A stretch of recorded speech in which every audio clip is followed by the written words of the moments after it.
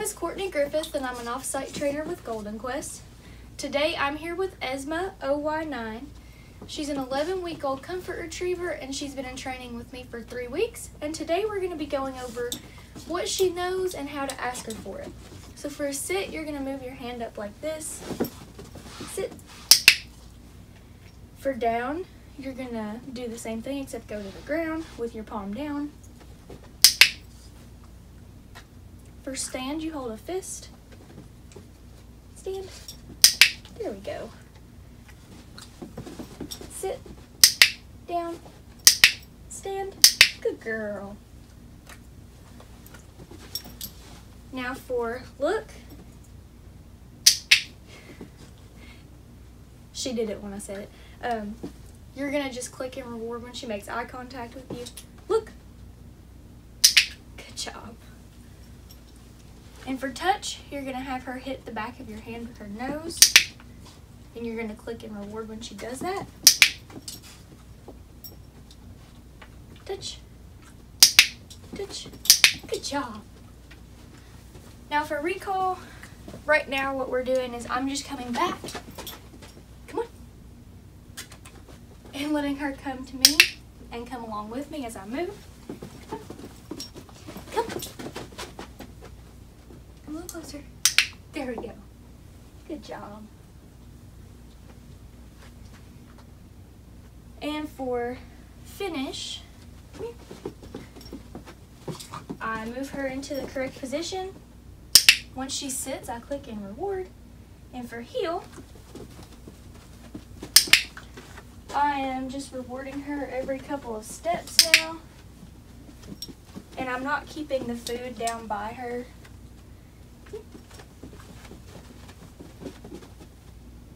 And when I stop, I expect her to sit.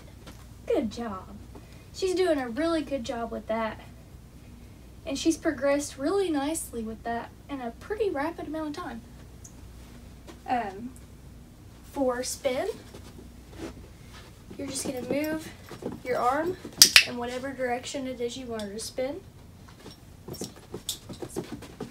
Good job. Now we've also introduced a rollover. And for that, I'm going to try to get this at a good angle for you to be able to see it. You're going to put her into a down and then take your hand and rotate. Good job. Now this is one that I taught her pretty rapidly, but she's doing really good with it. Now I'm going to show it from this angle as well. You put her into a down. You have your hand like this. Oops. Down. And you rotate. Good job. She really likes that one.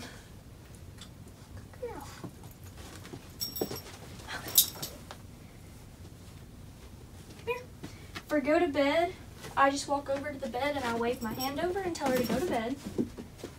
When she lays down, I click and reward. And for a stay, you're going to hold your hand up like a stop sign. Stay.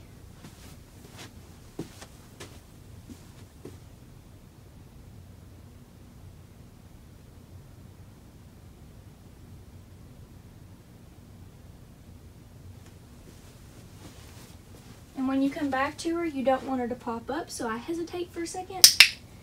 When she doesn't pop up, I reward her. And a pat on the side and an excited okay is how we release.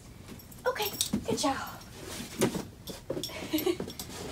she usually gets pretty excited after that one. Now we've also been working on her stays on the floor. Down.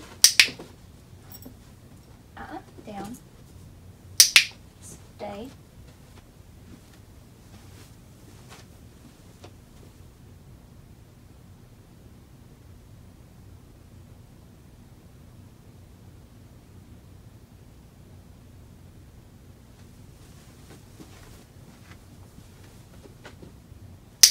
Job. Okay.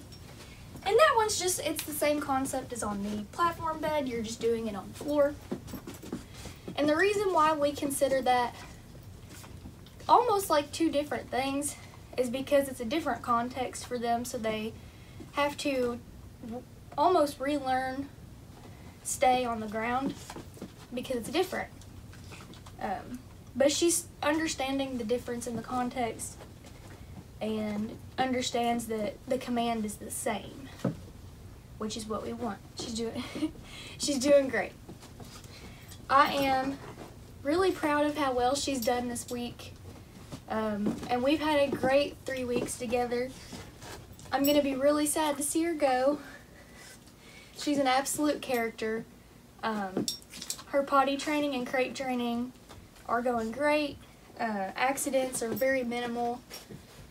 As long as she has a regular routine with some crate time throughout the day, regular potty breaks, um, and a pretty regular feeding and drinking schedule, you shouldn't have any problems out of that.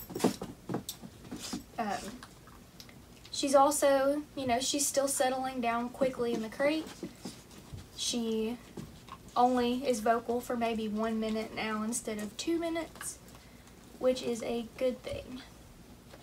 But I could not be happier with how well she's done over the course of our time together. And congratulations on your new pet.